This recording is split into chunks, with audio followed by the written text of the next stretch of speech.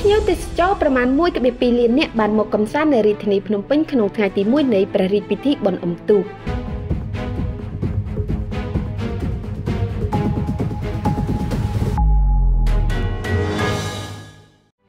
នៅថ្ងៃទី1នៃព្រះរាជពិធីបុណ្យអុំទូកបណ្ដែតប្រទីបនិងសំពះព្រះខែអកអំបុកឆ្នាំ2023នេះមានប្រជាពលរដ្ឋនិងភ្ញៀវទេសចរប្រមាណ1.2លាននាក់មកកំសាន្តយ៉ាងសប្បាយរីករាយបន្ទាប់ពីការផ្អាកប្រារព្ធពិធីបុណ្យអុំទូកនេះអស់ រយៈពេល3ឆ្នាំមកហើយ។នេះបើតាមឯកឧត្តមមេធាវីភក្តីអ្នកនាំពាក្យរដ្ឋបាលរាជធានីភ្នំពេញឯកឧត្តមបានបន្តថាដោនឡូតថ្នោត app ឥឡូវនេះលោកអ្នកនឹងទទួលបានទាំងព័ត៌មាននិងឱកាសលេងកម្សាន្តយ៉ាងសម្បូរបែបឯកឧត្តមបានបន្តថាចំពោះការងាររក្សាសន្តិសុខសណ្ដាប់ធ្នាប់និងរបៀបរៀបរយត្រូវបានអនុវត្តក្រោមការយកចិត្តទុកដាក់ខ្ពស់ពីឯកឧត្តមខួងស្រេងអភិបាលនៃគណៈអភិបាលរាជធានីភ្នំពេញ រួមជាមួយថ្នាក់ជាតិនិងកងកម្លាំងគ្រប់ផ្នែកដែលពាក់ព័ន្ធដែលធ្វើឲ្យមានសន្តិសុខសណ្ដាប់ធ្នាប់ល្អពុំមានបញ្ហាអ្វីកើតឡើងនោះទេ